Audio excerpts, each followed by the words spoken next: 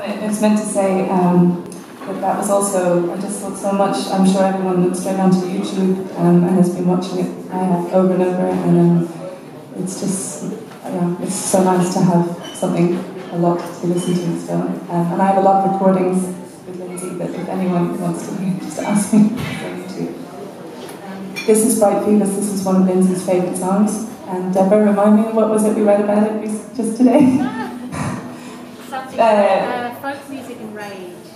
Um, oh yeah, it's, it's by Les and Mal Waterson, and Lyndsey just loved it. She flew to, Lin- to London to watch them sing it, and uh, they said folk should rage against the dying light, and I thought that was really amazing.